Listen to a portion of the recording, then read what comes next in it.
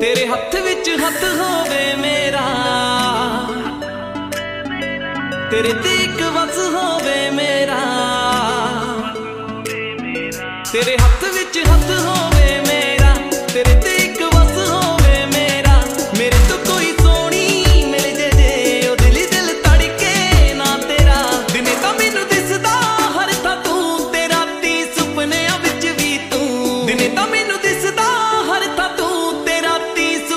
now that you've